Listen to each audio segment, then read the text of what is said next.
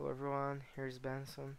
And on today's video I'm gonna show you guys a real real quick video about here about floor 1 here on Sword Blox Online. So you'll be able to see a lot of desks of guilds where you can join the guilds of the game. You'll be able to see a bank right here but it's not complete already. Right here you'll be able to see a, a place where you can change your hair and stuff. You'll also you'll be able to craft your items right here on these smithing tables. And here you can find the armors and weapons shops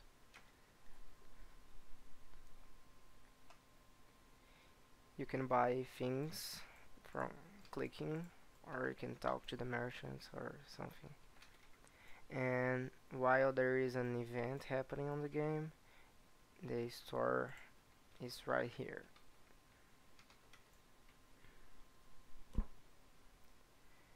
So I think that's all guys. Thank you all for watching.